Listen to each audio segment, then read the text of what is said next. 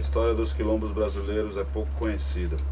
As poucas histórias de quilombo de que a historiografia se ocupou se referem aos territórios negros do mundo rural, em plena escravidão. Mas o mundo da monocultura escravista não era somente rural. Embora o centro da produção fossem as fazendas, uma rede de cidades se desenvolveu. Assim como nas fazendas, os trabalhos mecânicos nas cidades também eram realizados por escravos. Às vésperas da abolição, a economia brasileira estava na cafeicultura do Sudeste. Foi para essa região que se deslocou a maior parte dos escravos do país. A partir do último quarto do século XIX, São Paulo era a cidade centro da expansão cafeeira. Antes da ascensão do café, São Paulo era um centro comercial modesto. Em 1854, com 30 mil habitantes, um terço da população paulista era escravo. Em São Paulo, de 1850, senhores de escravos moravam em chácaras ao redor da cidade ou em sobrados das ruas do centro. Os homens passavam a maior parte do tempo nas ruas, ficando em casa apenas nos horários de refeição e sono. A rua era também território dos escravos. Nas ruas da Sé e da Santa Ifigênia, os escravos domésticos se misturavam aos de ganho.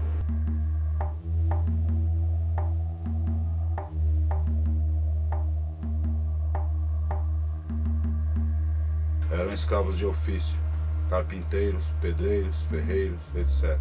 Ser escravo de ganho era para o escravo um dos caminhos para a compra de alforria, na medida em que, paga a férias devida ao senhor, algum excedente poderia sobrar em sua mão. Assim, o número de libertos na cidade crescia aceleradamente nas últimas décadas da escravidão. Em 1872, 11.679 negros, 3.828 eram escravos. Os escravos e libertos que viviam em São Paulo no final da escravidão definiam um território negro nas ruas do centro. Um dos pontos desses territórios eram as Irmandades, organizações religiosas negras. Nossa Senhora do Rosário na Praça Antônio Prado ou Nossa Senhora dos Remédios na Liberdade. Era onde em dias de festa cristã se batucava e dançava. O espaço das Irmandades era muitas vezes local de habitação de libertos. Além de quilombos, as Irmandades Negras também organizavam fundo de emancipação que libertavam escravos através da compra de alforrias. São Paulo, São Paulo, São Paulo, São Paulo, São Paulo, São Paulo. Viver em porões ou em habitações coletivas era a forma de moradia acessível aos libertos. Única opção de moradia barata no centro de São Paulo. A arquitetura das habitações coletivas era semelhante às das zonas urbanas da África Ocidental. Essa é, por exemplo, a forma das casas das tias negras, chefes dos terreiros, onde as famílias moravam coletivamente. Tias que hoje desempenham o papel de mães de santo. Essas famílias eram formadas por pessoas sem laços de parentesco, que se reuniam nos quintais, que eram locais de festa e rituais da comunidade. Essas habitações coletivas são quilombos paulistanos, no final da escravidão. Nesta época, o tráfico de escravos estava sendo desmantelado pelo capital inglês.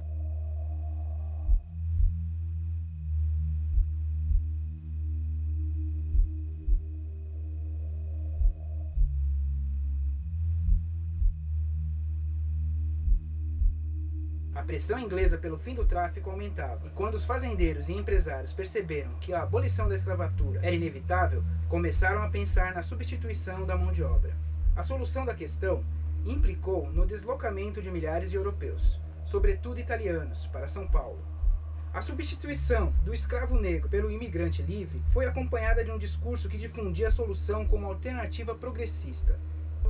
Temerosas de um processo de libertação violento como o do Haiti, as autoridades do Império, desde cedo, procuraram embranquecer o sangue negro, neutralizando sua cultura própria e impedindo o acesso a postos-chave. E a vinda de imigrantes europeus traria elementos étnicos superiores que, através da miscigenação, poderiam branquear o país. A substituição da mão de obra escrava significou, portanto, a redefinição do lugar do negro na sociedade, de escravo a marginal. Em outras palavras, no discurso da classe dominante, negro livre não servia para trabalhar. São Paulo, Gravando a cena vai, vai, São Paulo, São Paulo, São Paulo, São Paulo. Em 1886, dois anos antes da Lei Áurea que abolia oficialmente a escravidão, São Paulo era uma cidade com quase 50 mil habitantes, sendo 25% de estrangeiros. O imigrante europeu substituiu tanto os escravos como os libertos na posição de trabalhador. Em 1893, os imigrantes constituíam 80% do pessoal ocupado nas atividades de trabalho. Na cidade, assim redefinida, o quilombo era marginal. Sua presença africana não cabe no projeto de cidade europeia. A partir de 1886, com a promulgação do Código de Posturas Municipal, manifesta o desejo de proibir práticas presentes nos territórios negros, porque afrontam a cultura e sujam a cidade. O projeto de cidade europeia significará também redefinição e deslocamento da classe dominante, que abandonará seus palacetes no centro para ocupar loteamentos e palácios neoclássicos primeiro nos Campos Elíseos, depois na Vila Buarque e finalmente na Avenida Paulista. Trabalhar como empregado doméstico foi desde a abolição uma das poucas opções de atividade para os negros e mulatos. O deslocamento do território da classe dominante acabou por definir novos territórios negros. Aos pés das novas regiões burguesas surgiram núcleos de habitações coletivas, onde os negros e mulatos ligados ao serviço doméstico moravam com suas famílias. Este foi um dos movimentos da comunidade negra que configurou um dos dois quilombos de São Paulo pós-abolição, Barra Funda e Bexiga.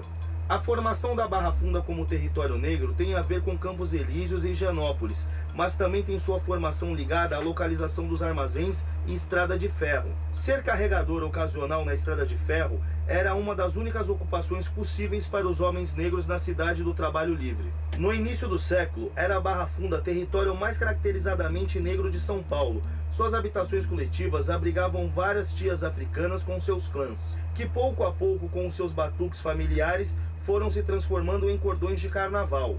A história do Bexiga como território negro começou no século XIX, quando ali existia um quilombo semi-rural, o Saracura.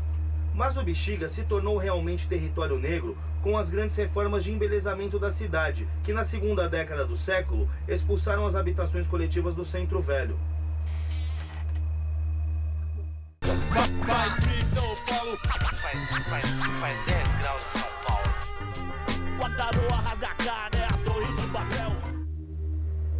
Plano da burguesia de cafeicultores, grandes comerciantes, banqueiros e artistas convidados consistiam basicamente em remover tudo que era considerado marginal do centro da cidade e redesenhá-lo segundo o projeto de moderna capital europeia. Assim, ruas foram alargadas, mercados demolidos, praças remodeladas. Tais reformas implicaram, por exemplo, na desapropriação da Igreja e Irmandade Nossa Senhora do Rosário, um dos quilombos importantes da comunidade no século XIX. Tanto o Bexiga como a Liberdade cresceram com operações de limpeza do centro. Nestes bairros, principalmente na década de 20, se configuraram territórios negros importantes com suas escolas de samba, terreiros, times de futebol e salões de baile. Na Barra Funda, Bexiga e Liberdade, além de certos pontos da Sé, nas primeiras décadas do século, se organizaram também sociedades negras, com atividades culturais e recreativas que envolviam publicação de jornais, a produção literária, musical e teatral, passeios, piqueniques, bailes de fim de semana e salões alugados. Qualquer um desses quilombos paulistanos da Primeira República tinha a fama de ser lugar de desclassificados. Então, finalmente, a marginalidade é associada a um conjunto de gestos e um jeito de cor. A posição de marginalidade da comunidade negra só começara a se alterar levemente a partir da década de 30. Era preciso sair logo dos cômodos e porões para organizar um novo território negro familiar. Essa foi uma das palavras de ordem da Frente Negra Brasileira, gremiação política fundada em 1931, que pregava a necessidade de instrução e organização da vida familiar. Uma das ações concretas da frente foi comprar terrenos e loteamentos recém-abertos nas periferias da cidade, fundando núcleos negros formados por casas próprias. Casa Verde, Vila Formosa, Parque Peruche, Cruz das Almas e Bosque da Saúde. Bairros, inicialmente, sem nenhuma infraestrutura e distantes do centro. Famílias negras começaram a edificar casas próprias em lotes comprados na periferia.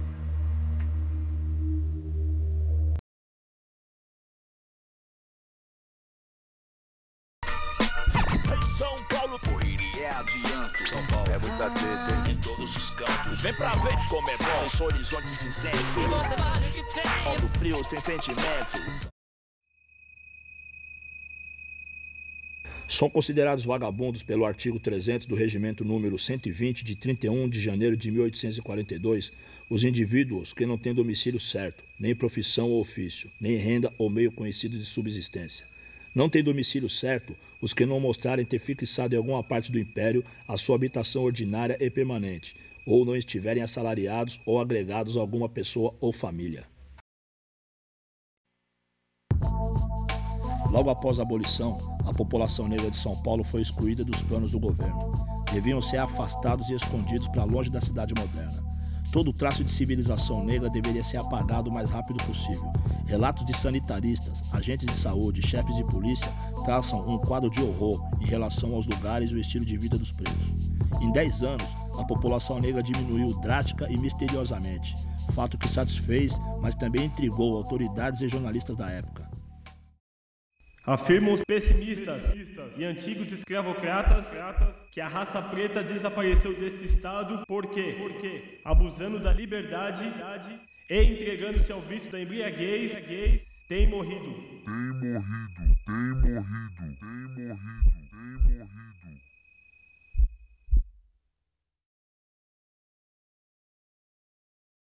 O plano de embranquecer a população e transformar São Paulo em cidade europeia começa a dar resultados. E já em 1906, a cada 100 crianças nascidas, quase 80% eram filhos de estrangeiros, principalmente italianos.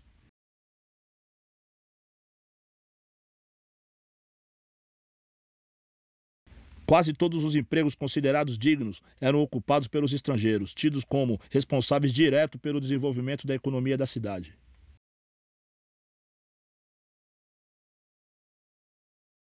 Ou então ex-secretário da Segurança Pública e futuro presidente da República, Washington Luiz, usou essas palavras ao relatar a Várzea do Carmo, atual Parque Dom Pedro, reduto da população negra na época.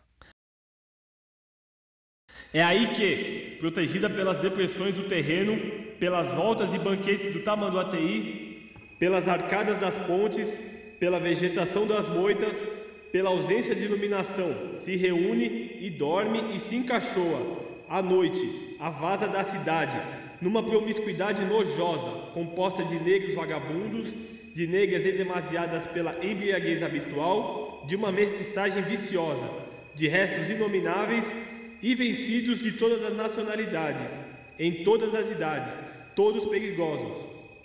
É aí que se cometem atentados que a decência manda calar. É para aí que se atrai jovens estovados e velhos concupiscentes para matar e roubar, como nos dão notícias os canais judiciários, com grave dano à moral e para a segurança individual, não obstante a solicitude e a vigilância de nossa polícia. Era aí que, quando a polícia fazia o expurgo da cidade, encontrava a mais farta colheita.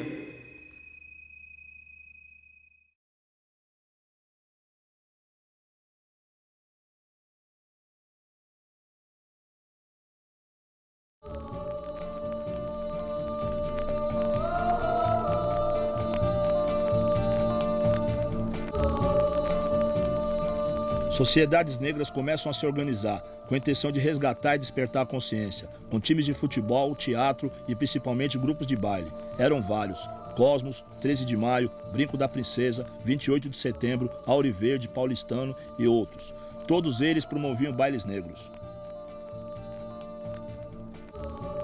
Então começaram a chegar moças muito bem vestidas, aqueles negrinhos bem trajados. Eu fui ficando espantado. Os italianos foram desocupando o espaço. Chegou a diretoria, a orquestra e o baile começou. Fui indagar e me disseram: essa é a sociedade Elite Flor da Liberdade. Faz baile todo domingo, das três às seis. É uma sociedade de família.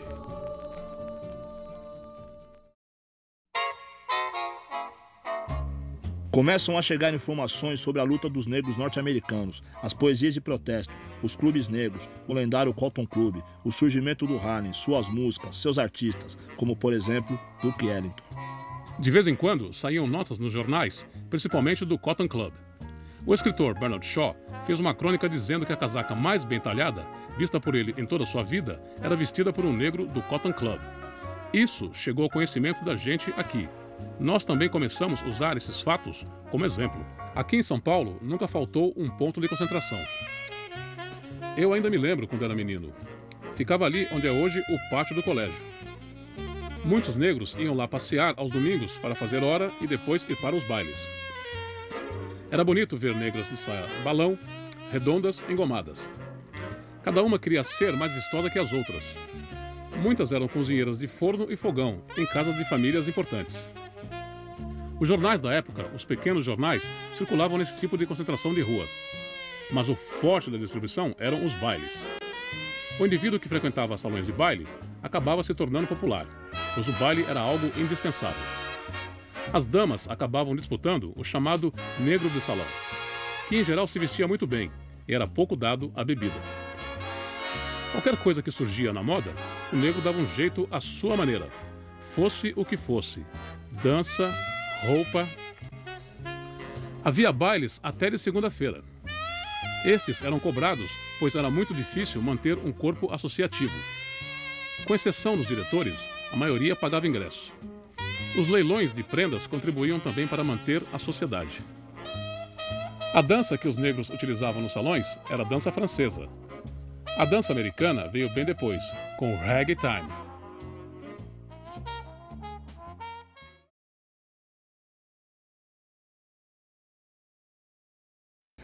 A ditadura denominada Estado Novo de Getúlio Vargas proibiu e fechou todos os movimentos de lutas de classe, dissolvendo todo e qualquer movimento negro politizado.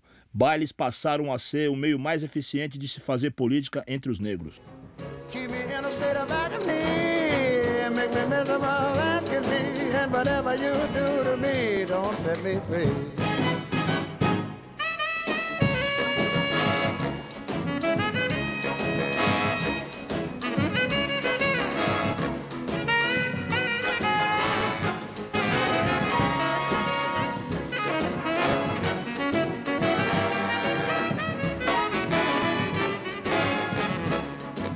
Eu cheguei muito cedo lá, cheguei em 59, 1960 eu já estava por ali garotinho, ia pro parque de infância e tal. Santa Catarina era um bairro de periferia, ainda sem nenhum tipo de progresso, ruas de terra, é, as casas pobres, barraco, toda essa história. Eu vi nascer tudo aquilo ali.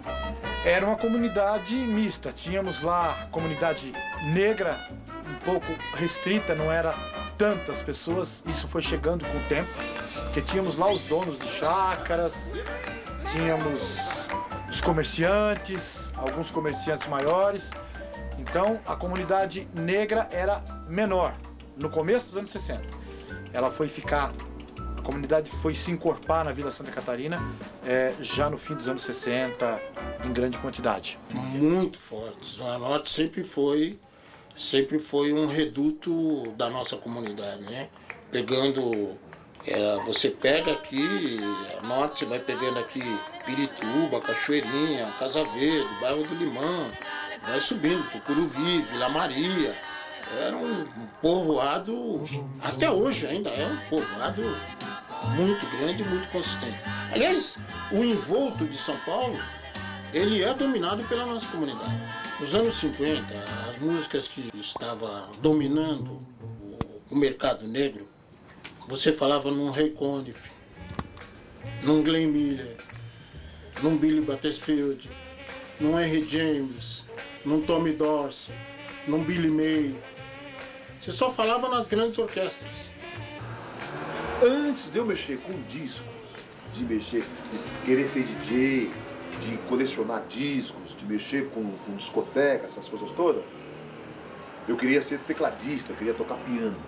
Eu tive um tio que foi muito famoso, que, o maestro Ben, que toca, tocava no Paulistano da Glória.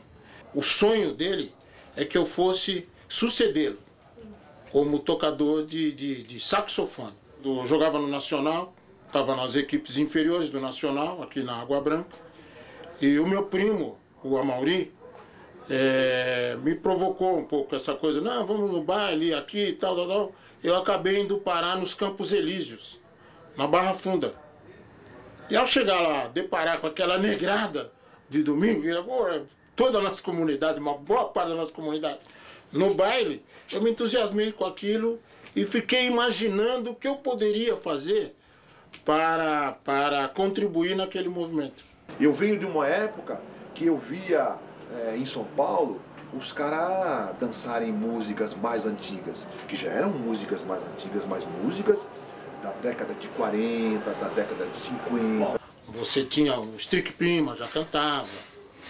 Você tinha o Ray Charles. Tô descendo a ladeira da minha casa e escuto esse som numa casa. Aí eu parei para ouvir. Pô, eram umas, uma cerca de madeira. Eu fiquei ali nas gretas, ali da, entre uma tábua e outra, olhando eles dançando e tal. Aí eu fui lá, bati palma na cerca, no portão, a mulher veio. Falei, minha senhora, me mostra a capa desse disco aí. Essa música eu nunca ouvi. You must be joking. What you trying to do to me? Well, can't we talk it over? I thought we had a better understanding.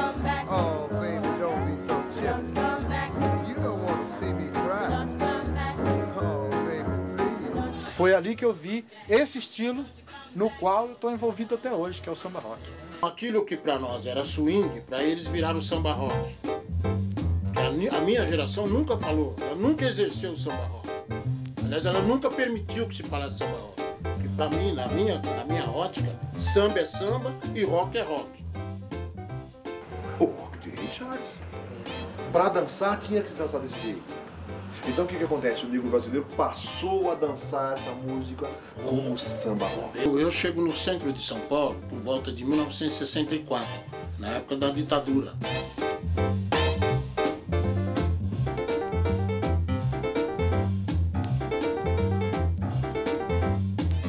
Você imagina você vir para a Avenida Rio Branco e encontrar a negrada da Brasilândia, Cachoeirinha, Morro Grande, Itaberaba, eh, Casa Verde, Bairro do Limão, tudo aqui na Avenida Rio Branco. Aí eu me lembro que nessa época eu comprei uma, um, um aparelho que o pessoal chamava de eletrola. um- não, me- não me lembro qual o nome certo. Acho que era eletrola, um, um aparelho que tinha assim, um, tinha um toca-disco e tinha duas caixinhas. E eu me lembro que eu juntava isso assim com uma, uma quantidade de disco, juntava aquela outra maletinha. Nos domingos eu colocava o pessoal na praça para dançar. E eu vivia caçando assim, tipo, ah, quem vai fazer aniversário? Se você for fazer aniversário, eu vou tocar no seu aniversário. Eu conseguia ver a força da nossa comunidade, mas não conseguia ver o objetivo da nossa comunidade. Na época tinha os bailes Eduardo, Amauri, Charistim, os Carlos, os bailes considerados os antigos. Eu comecei a prestar atenção nessa cultura, que era a cultura dos bailes. Eu comecei a prestar atenção em outras músicas.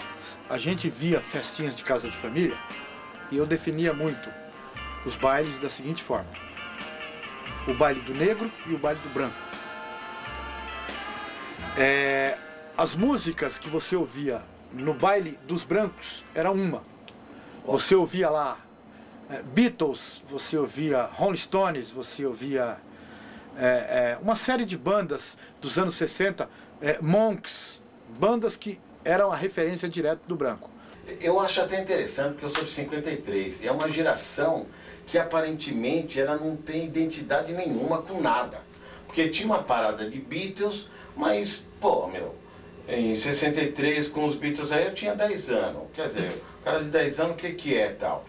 Rolava, era a partir de Beatles, aquilo tudo, né? Woodstock. E quando você via tocando Ray Charles, quando você via tocando Sarah Vaughan, quando você via tocando Aretha, Frank, Aretha Franklin, aí é, você já tinha definição do que era o baile black e, e também ah, o movimento, né, o povo. Existia música lá, mas como, assim, a gente era ligado em estudar e tal, então a música preta era como se fosse uma coisa que conflitasse com o fato de você querer estudar e coisa do tipo aí.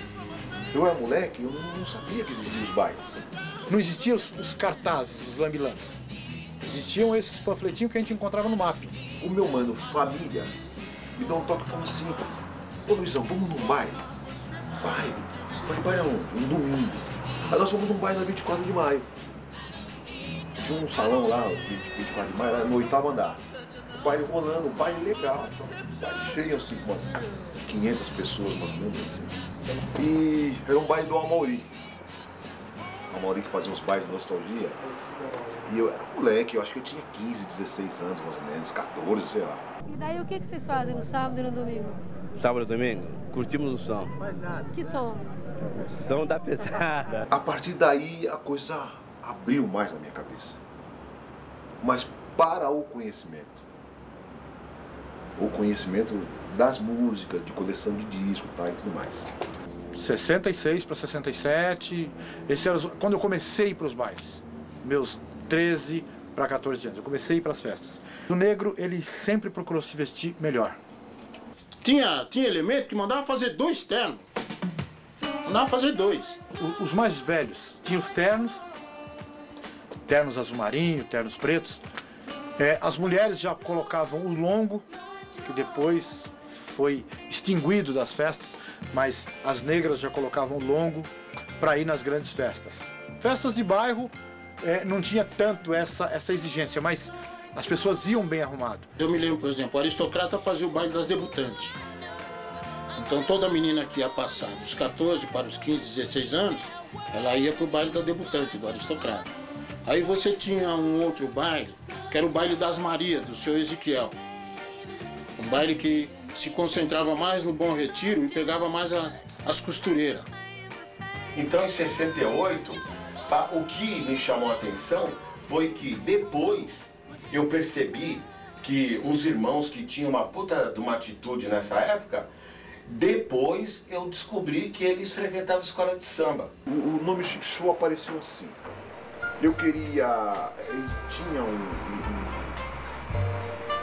um- um salão de, de bailes em São Paulo, que era da camisa verde branco, que chamava São Paulo Chique. São Paulo Chique antecede a Chic Show. Ele era São Paulo Chique, ele era da camisa verde do São Vicente Tobias. E lá tinha um grupo de samba que chamava Chique Samba Show. Naquele momento de descoberta, eu falei, pô, escola de samba é uma, é uma escola, meu. Os blues são as coisas que a gente mais gostava de tocar. E são eram poucas pessoas que tinham esses discos que podiam rolar. Então, naquela época era Eduardo, Amaury. E o São Paulo Chique era uma casa de só de samba, não tinha bailes. Fazia lá uns bailes de vez em quando, o tal de Eduardo. Tal de Eduardo, não. O Eduardo, cara- ele era conhecido. Um cara que tinha uma coletividade legal, mantinha o pessoal, assim, era um líder da galera. As empregadas domésticas frequentavam a rua direita, só negras. Aí você descia um pouco e ia para a Praça da Bandeira. Chegava ali na, na, na- na Praça do Correio, os ônibus que saíam sentido 9 de julho ali, que ia para a região de Santo Amaro, Capão Redondo.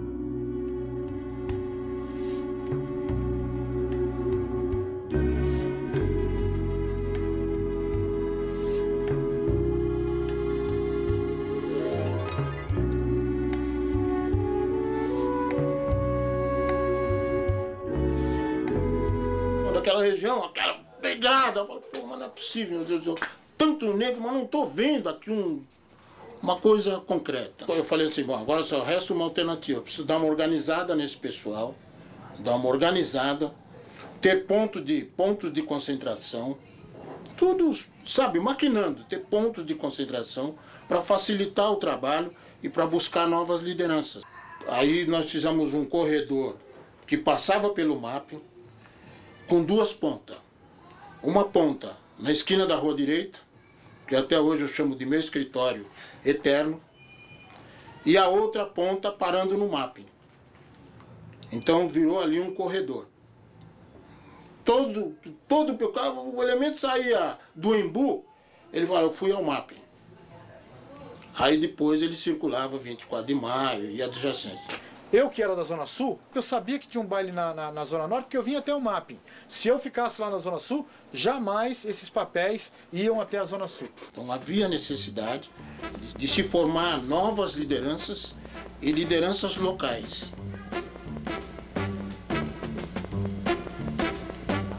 O que mais andava, que tanto que eu conheci lá, foi o Eduardo, que era o que mais andava em São Paulo.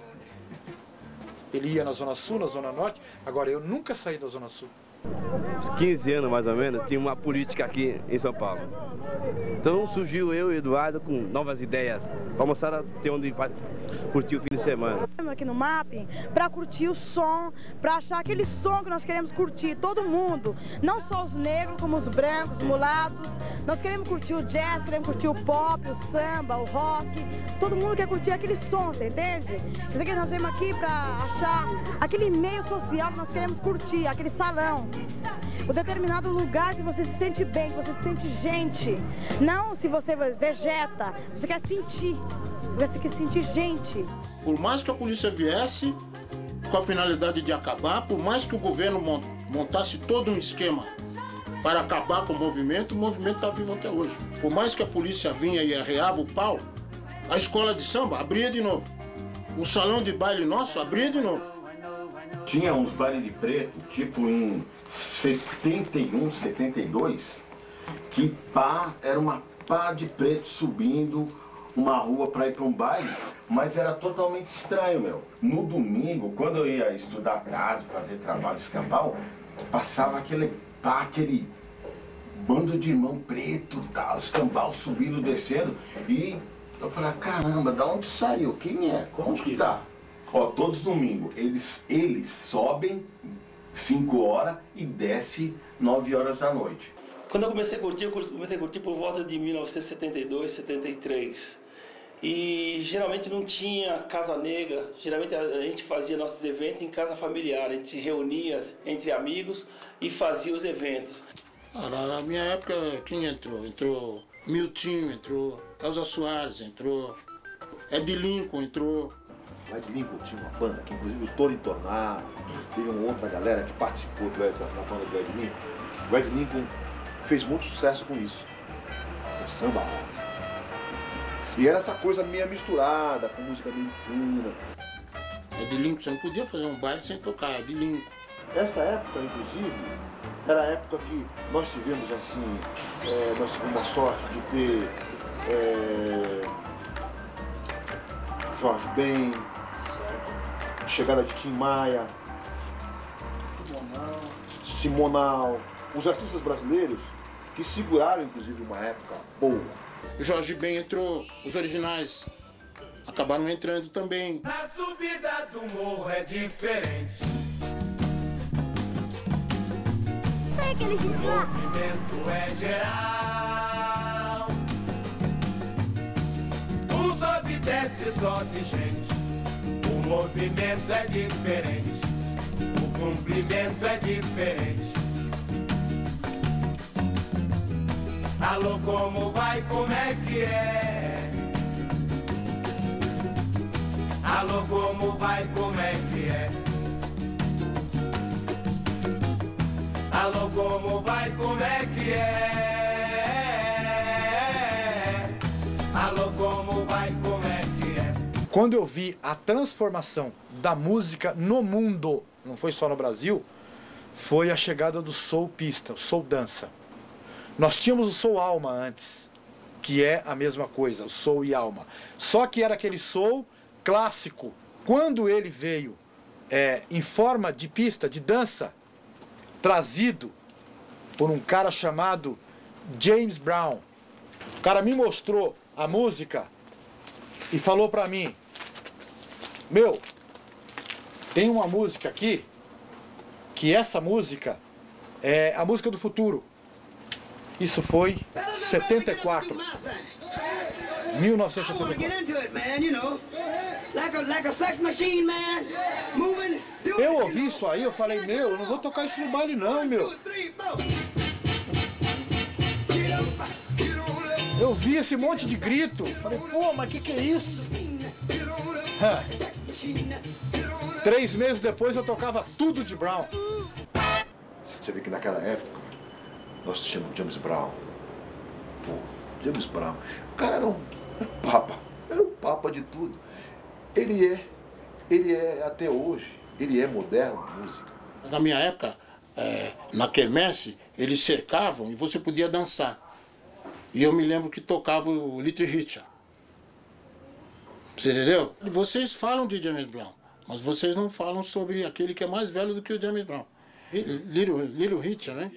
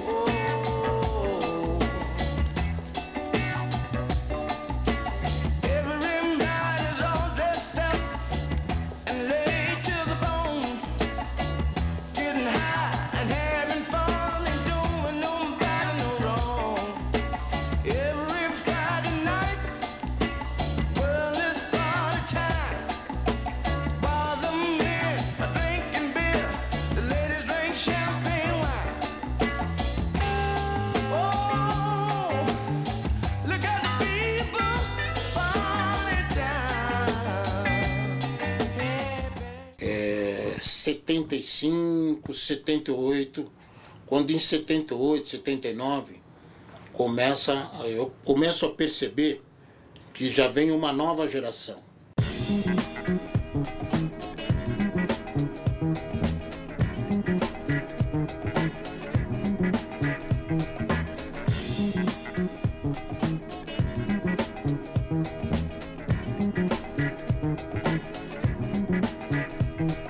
75 eu começo a perceber essa mudança, porque era muito natural que uma menina ou um rapaz chegava, pô Eduardo, dá para tocar essa música? Existe uma coisa, existe alguma proposta a mais para vocês se reunirem aqui? Não, a única proposta que existe aqui é o termo de fazer amizade, entende? Com qualquer tipo de raça, sabendo todo mundo que chega e sabe chegar e aceita entre nós todos aqui, entende? E a raça é o único, meio que a gente pode se reunir, porque não há outro lugar, entende? E já que em gerações a geração nós estamos sempre aqui e aqui vamos ficar sempre. Tem os filhos nossos, nossos aí, tem outros e continua a acusação, entende? É só isso. Pelos pedidos, você com- começa a perceber que está havendo mudança. Hit it. You feel, brother? Feeling good. You feel good? Feeling good. Improving. Play so much bone, brother. How you feel, man? I feel alright. I call your name. I don't want no people to know you're in here. How you feel, fella? Hey, Jam. Sure getting down. Look at him. Ah.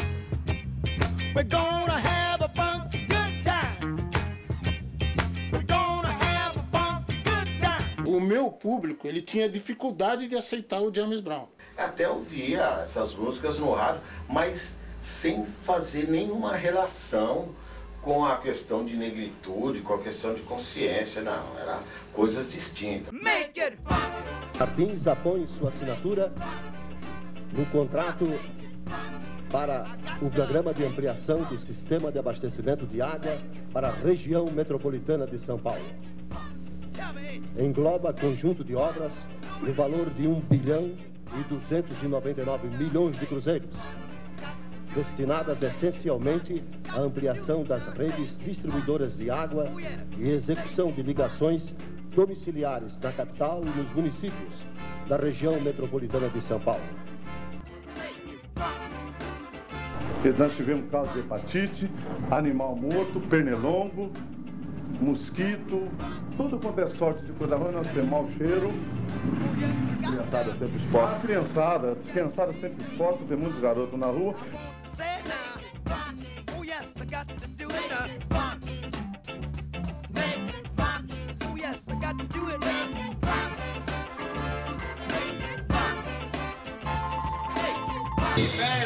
Isso é, já é sequência e fruto do que o James Brown tinha mostrado para o mundo. Isso eram os, os adeptos à, à história de James Brown, ao soul. Esse som, ele tinha um nome. O funk. O funk É que a gente pode dizer que é um som negro mesmo, é um som pesadaço. trabalha em cima de uma pegada bem mais agressiva. O nome funk, ele ficou como funk, inclusive, pelos bares do Rio. Os bares do Rio eram baile funk. E as bandas lá fora também eram bandas funk.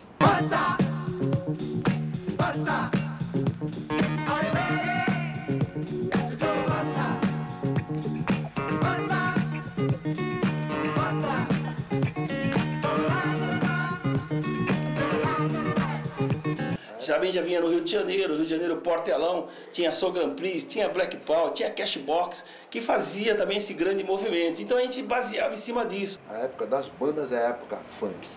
Eu acho que o movimento funk foi tudo, porque ó, nós aprendemos a usar o corte do cabelo, nós aprendemos a se vestir, nós aprendemos a fazer tudo.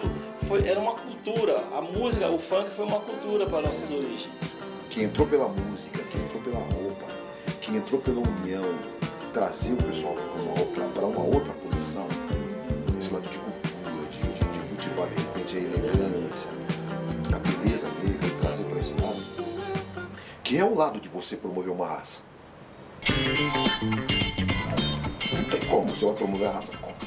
Quer dizer, a raça ela tem uma força, ela- ela tem uma força atlética, ela tem a- a força artística, a força de inteligência e todas as coisas, inclusive, que sempre foi negada, sempre foram assim, obstruídas. Geralmente as roupas eram sapato, bico fino, aquelas calças com bom vinco, uma boa camisa de seda, chapéu de vez em quando, virado do lado direito. A gente já se inspirava no James Brown nos Estados Unidos. Logo no começo da faculdade e tal, teve um show do James Brown, aqui em São Paulo. Então, pá, falando, pô, James Brown, não, a gente era, né, tinha uma consciência política, intelectual e tal. E daí, de repente, um irmão da gente foi lá no show do James Brown e tal. Daí ele voltou, né, colocando como a descoberta da verdade. Não, nós temos que prestar mais atenção porque é algum fenômeno. Então a gente iria descer tal do, do pedestal intelectual da gente para começar a analisar um cara que devia ter algum valor mesmo tal.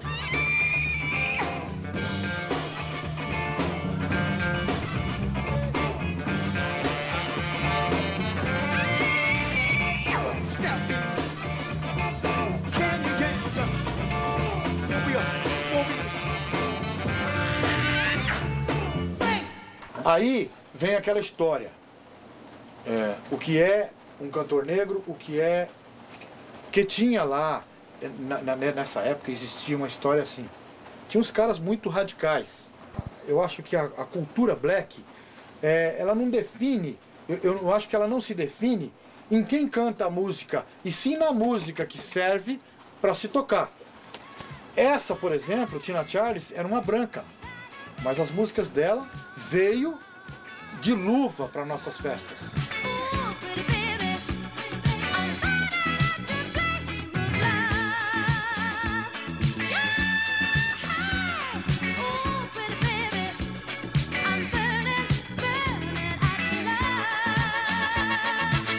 Setenta e seis. Setenta e seis. Isso foi a partida para a história da disco. Claro que já tinha outras bandas fazendo disco, mas não tinha destaque, não tinha estourado ainda. Isso foi o que veio, veio uma febre no Brasil, tocava em todas as emissoras de rádio. Você ouvia isso o dia inteiro e a gente passou a pôr nos bailes, não tinha jeito.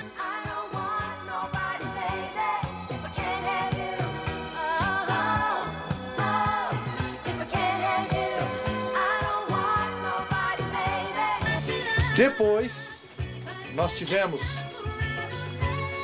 em seguida a isso, nós tivemos uma banda que foi um grande estouro, que foi KC Sunshine Band.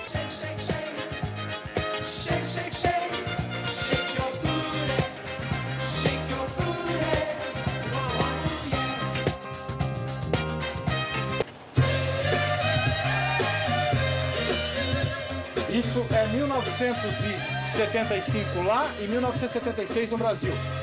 Um ano depois de ser lançado na América, chegou aqui para fazer o sucesso que fez.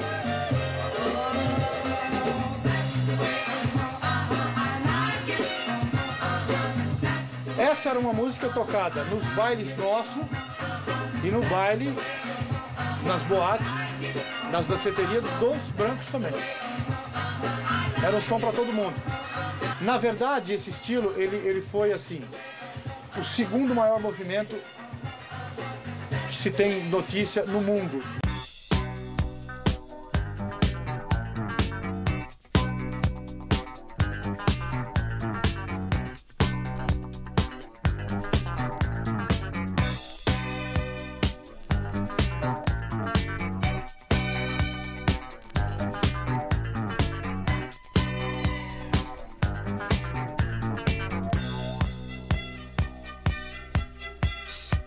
Aí a gente pegou uma nova era também, é, que foi essas bandas, é, mas foi criado vários estilos paralelos, É, pegando um pouquinho da disco, um pouquinho do funk, um pouquinho do soul.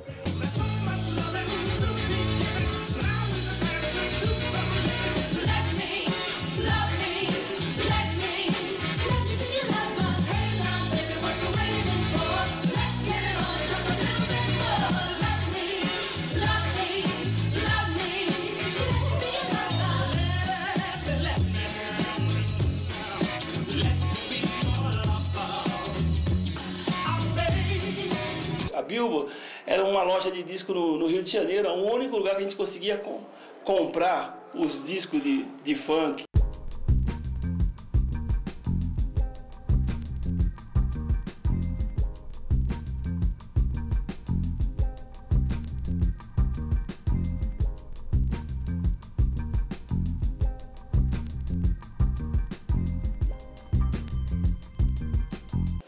A gente pegava e era uma raridade. A gente chegava aqui em São Paulo, a gente raspava os rótulos para ninguém ver o nome da música, para a gente ser exclusivo.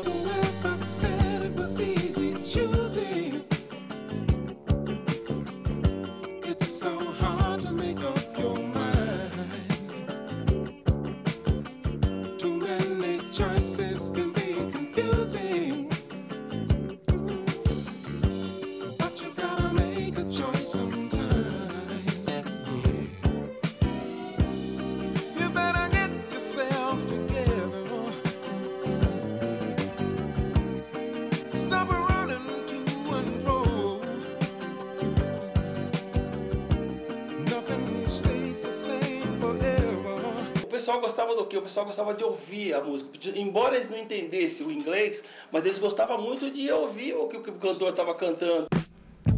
Yo, no, what's up? Yo, man, here we go. Practice, man. What you doing, man? Oh, man, we and the homeboys is going down to 40 Park. Take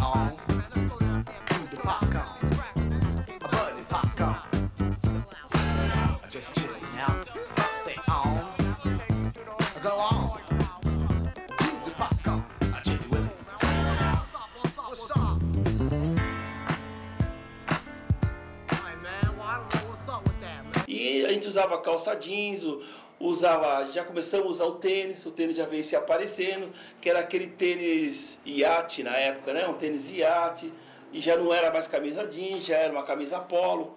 Então, era uma nova era. Tinha havido uma transformação muito grande. E isso tinha se popularizado muito. Se você falar pra um outro cara assim, mais radical, eu falei, "Ei, meu, pô, vem falar de Michael Jackson. Michael Jackson é a grande virada negra. A grande virada pop.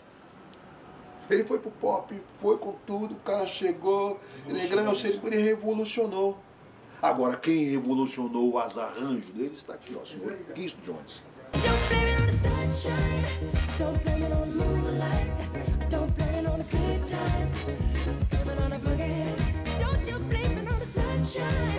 Tavares, Dramatics, tal, tal. She's a bad man, just as The Tramps, Delegation, Birth and Fight.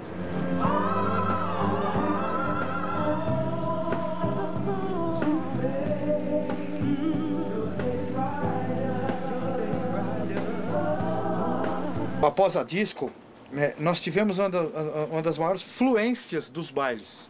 Era muito maior do que no tempo do Eduardo, do meu tempo, no tempo do Johnny, muito maior.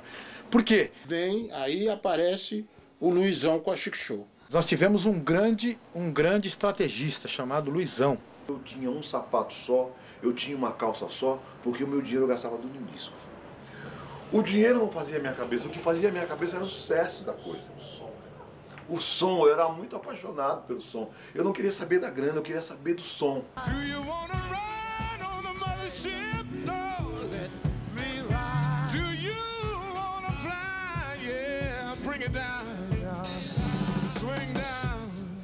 Aí existe o lado comercial.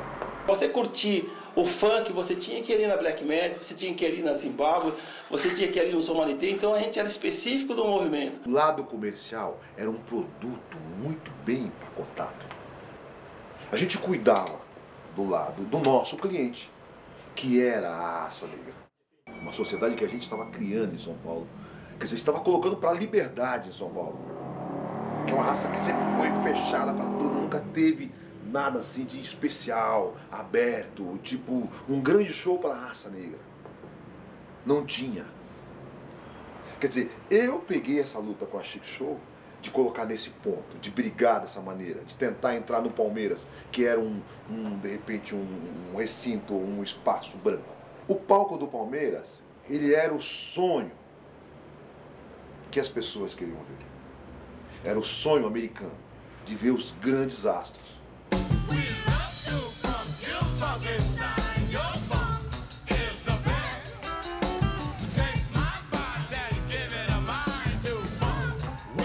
Palmeiras era o ponto, o palco e o lugar que a gente tinha como objetivo.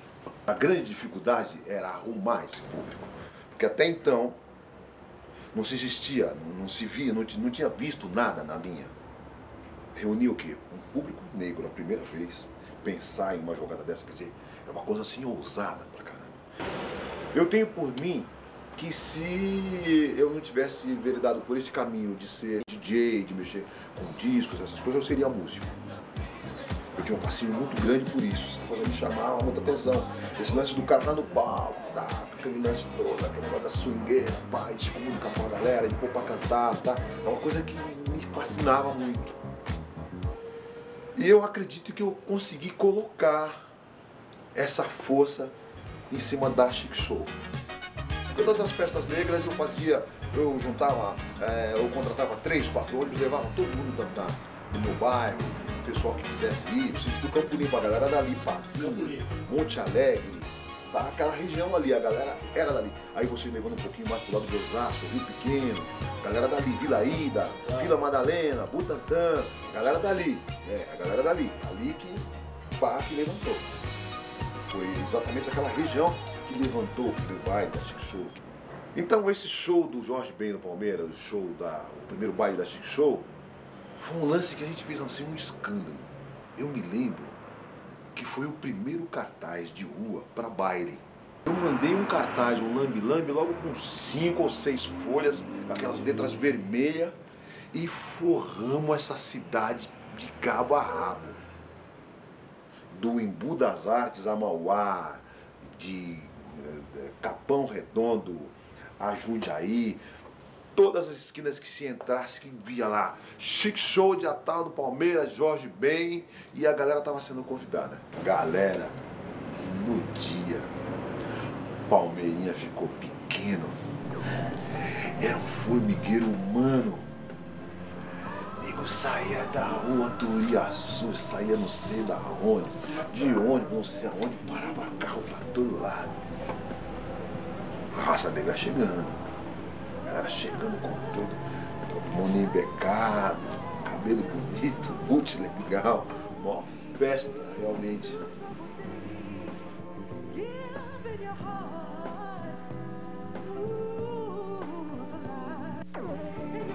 E existia a identificação.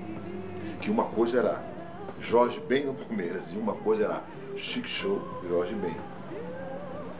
O, o Chic Show, nessa época, ele já era sinônimo negro.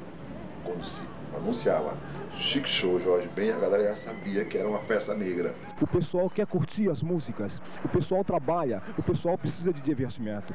Para que o pessoal curta, para que o pessoal sinta as alegrias da vida. O pessoal quer curtir a alegria, quer balançar. O movimento não é totalmente americanizado. Em partes é, em partes é, mas não é totalmente. Traz também assim, as raízes da raça, traz alguma coisa da África. Eu acho que engloba muitas coisas em cima disso. É, tem problemas africanos, problemas brasileiros, problema de quando a raça começou no Brasil, problema de- do índio no Brasil, daquela época toda de sofrimento da raça. Traz tudo isso. Não é só americanizado. É muito lógico que o pessoal gosta das coisas lá de fora, gosta das coisas dos Estados Unidos, mas não é tudo americanizado. Eu fui numa dessas festas do Palmeiras e eu vi ele falando no palco. E eu falei, pô, você vê, esse cara veio pra, pra mudar tudo. Olha aí, pessoal. Eu me sinto emocionado com essa massa toda aqui. E é com muito prazer que eu trago para vocês um dos maiores balanços do Brasil. Uma das maiores promessas brasileiras. Ele é bom demais. Porque nós vimos festa com 10, 12 mil pessoas no Palmeiras. A gente trazia os artistas do Rio de Janeiro. Gente trabalhava com Jorge Ben, com Tim Maia, com Da Fé. Meu amiguinho, meu maninho, uma consideração incrível com a gente. Ele é meu mano, meu mano, Carlos da Fé. com Sandra de Sá, com Gil. O Gil veio duas vezes. Nós trabalhamos com Djavan, com Bebeto. Nós trouxemos para o palco do Palmeiras os shows que eles queriam e todas a- as alegrias que eles queriam curtir. Eu me lembro que no- a primeira vez que nós assistimos o, o James Brown, a- as pessoas não, não, não, não, conseguiam levantar o braço para cima dentro do Palmeiras.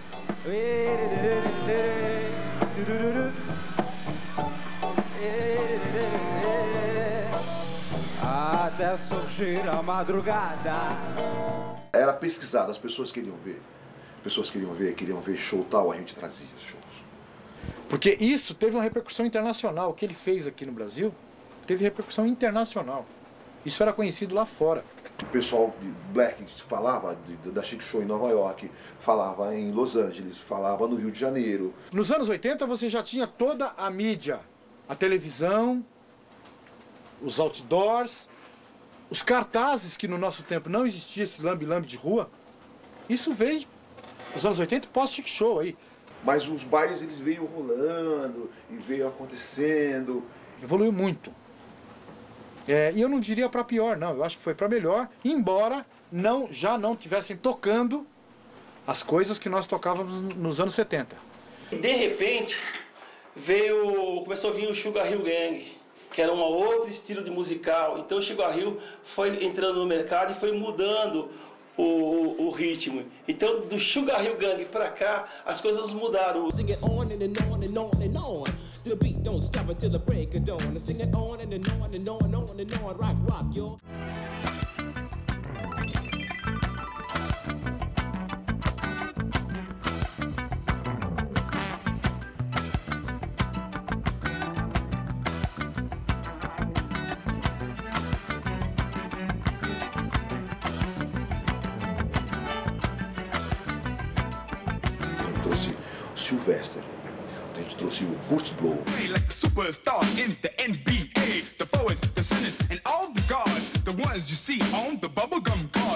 And homeboy would go one on one. Kurt Blow é um outro cara também, de uma força muito grande. Nós tínhamos a Betty Wright, dessa época de 80, de 70 e pouco, quando os bailes estouraram. Isso foi era uma espécie de preparação. A época eletrônica que antecede aos DJ. É exatamente pela parte eletrônica dessas bandas médias, vindas com teclados, que é o ponto das bandas médias, que é a banda, essas bandas eletrônicas, as bandas de teclado composto. Uma coisa assim que foi muito pedida, que a gente atendeu, que deu uma satisfação muito grande de ter, ter trazido, foi o, Roger e a banda Zap.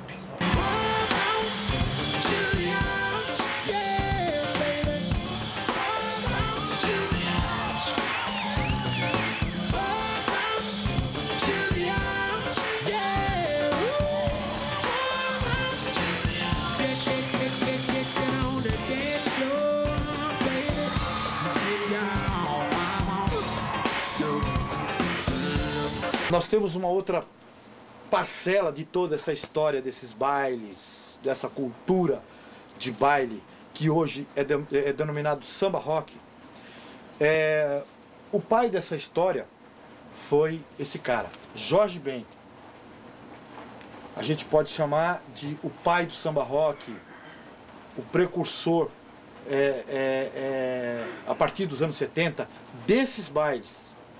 Porque a partir desse disco, é a minha opinião, é, nunca mais deixaram de tocar nada de Jorge Ben em baile. Essa música, é a minha opinião, foi uma das músicas que abriu assim as portas para que você tocasse Jorge Ben em todos os bailes. Vamos toda dela. Olha que o circo chegou. Isso eu fazia os bailinhos lá no Jardim Milha. Você ouvia o Jorge Ben, aí você passou a ouvir Jorge Ben em tudo quanto foi, em todos os lugares que tinha baile, você ouvia Jorge Ben.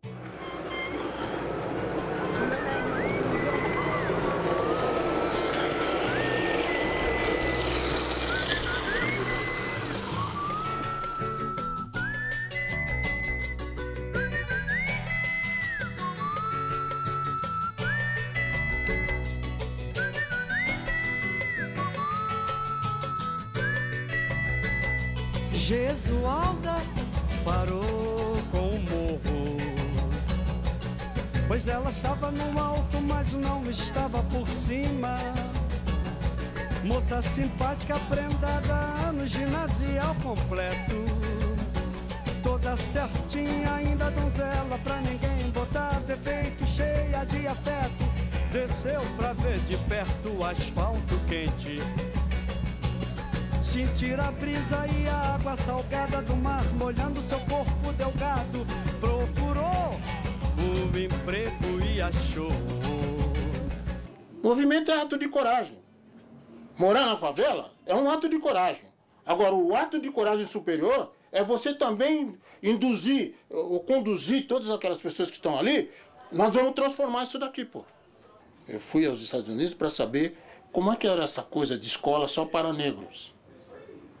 E fui quando, quando ninguém tinha ido. Como fui à África do Sul também, quando ninguém tinha ido. And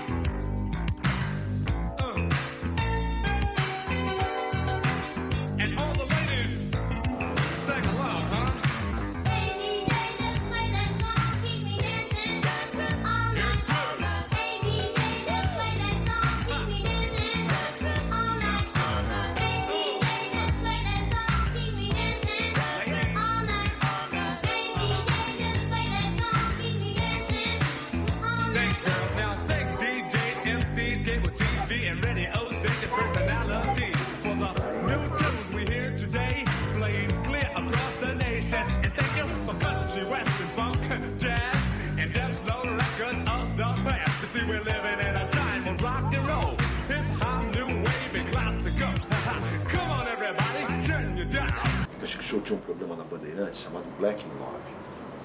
E era, era assim, um hino, era o final de semana das da, da galera de São Paulo. Começava assim sábado, meio-dia, do meio-dia às duas da tarde.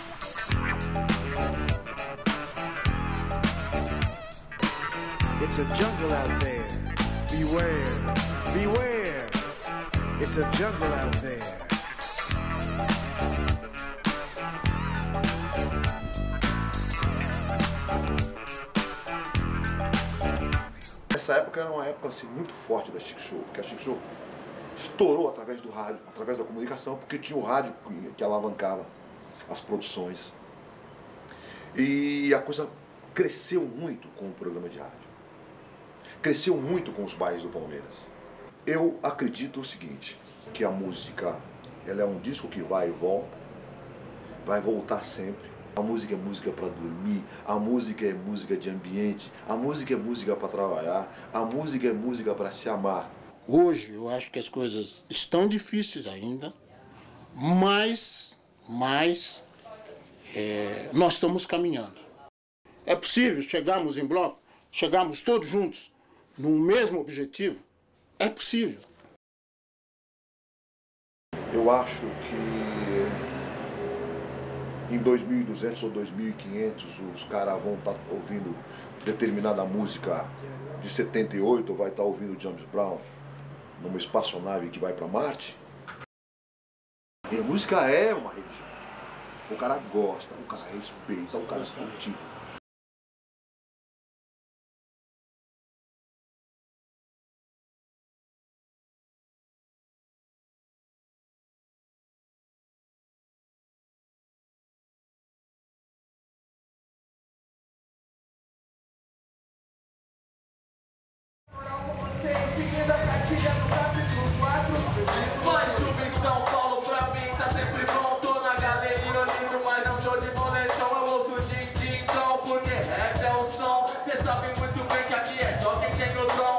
Sou um discotecário é, que admiro os DJs de hoje. Eles conseguem fazer hoje com o vinil aquilo que eu não consegui fazer no passado. Eles brincam com o vinil. E eu não podia brincar naquela época, porque se eu brincasse, meu baile acabava. Então, o hip hop, ele vem é, é, com uma nova, uma nova roupagem, uma nova feição, é, colocando com clareza os seus objetivos. Doa quem doer. Eles estão fazendo o que eles gostam e o que eles sentem. Porque a pior coisa que tem é você não fazer o que você gosta e não fazer aquilo que você sente. Porque estamos reunidos no centro da cidade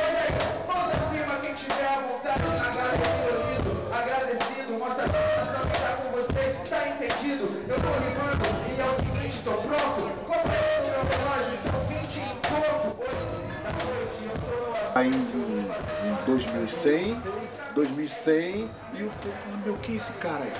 James Brown, bicho.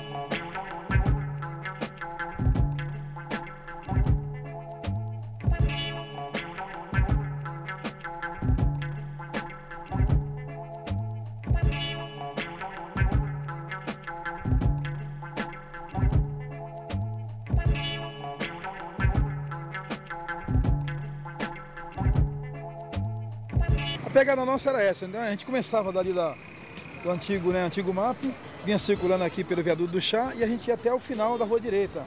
Nesse estilo vai e vem. E depois a gente voltava novamente, junto com as menininhas pra cá, e voltava até o antigo MAP. Os meados assim, mais ou menos de 1970, 71, a rapaziada curtia o MAP, vinha aqui pra pegar os panfletos dos bailes. A gente subia, voltava, naquele pique assim, bem bem de ginga, né? As mulheres subiam, os homens desciam. Aí parava aqui, encostava aqui, chamava a pretinha do lado, dava um panfletinho pra ela, falava um pouco dos bailes.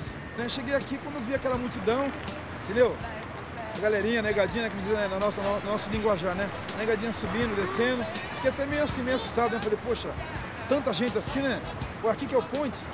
Aí comecei a se entrosar com o pessoal e comecei a curtir também aqui. Aí eu tava com 18 anos. Hoje eu tô com 56. Mas 30 e poucos anos só, né? Visual. Esse aqui é o visual, né? O visual da agora, né? Agora tem que vir nessa pegada também, né? Na minha época era o cabelinho partido do lado e tal, a calça, né? E hoje em dia já é outra pegada, né? Certo? Falou, rapaziada. Valeu aí. Legal.